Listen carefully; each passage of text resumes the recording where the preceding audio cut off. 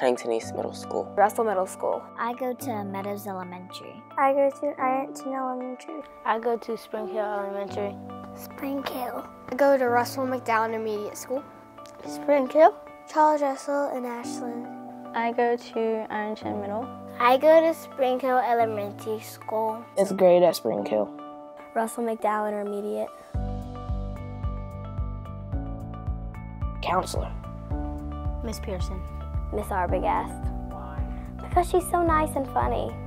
Gym is fun. Sometimes we take field trips to like the movie theater or like to art and stuff. Like sometimes we go to the park if we're good. Oh no. She teaches me how to be respectful, uh, to treat others how you wanted to be treated. She, she teaches me a lot of stuff.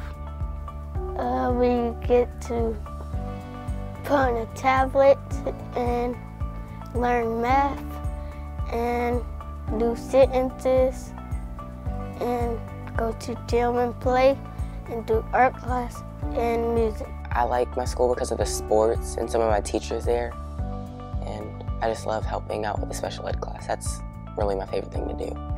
They don't force us to be friends, but they don't want you to be mean to anybody. I'm on the student council, so they organize like events. We recently had a um, canned food drive. We have these books at school. It's called The Life of America, and like it goes from Christopher Columbus, Pilgrims, slavery, and now. Um, they built this big flag. Um, and that's all I know. Where in America was built, I think that it was everybody collectively working together to get our country where it is today. They don't teach that stuff till we get in fifth grade. I kind of don't know that.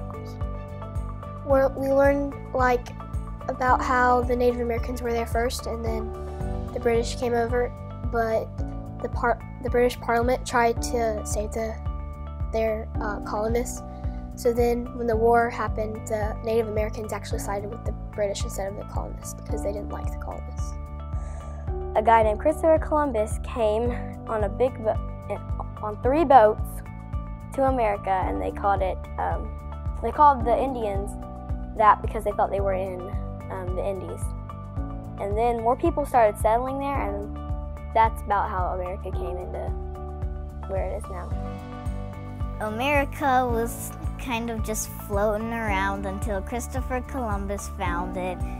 And he thought he found like the he thought he found the like the other side of the world, but really he just found America. He thought he founded he found Asia and things like like the places near that, but um, he really just bumped into the Bahamas, and um, he met Native Americans, and the, he had people from England.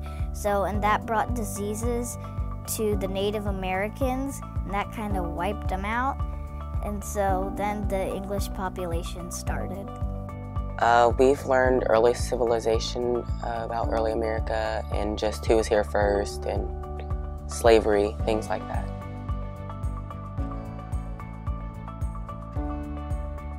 Race to me means what where you come from, like your background.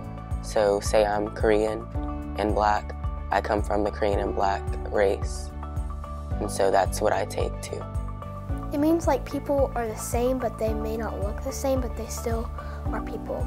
So that's what that means to me. But Yes, they asked me like, they asked me like, am I white or black? And I'm like, if like some people are the same color as me, and they ask me like, what race are you? And then I'm like, what race are you? Because we're like kind of the same color, but I'm not for sure.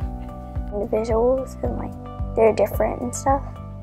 Is it like where you don't really care about what the skin color you care about what's inside of you and like your heart and it makes you beautiful. It means like where you're from or like how you look, your genes inside of you. I haven't heard about that. It like makes all that fighting and stuff.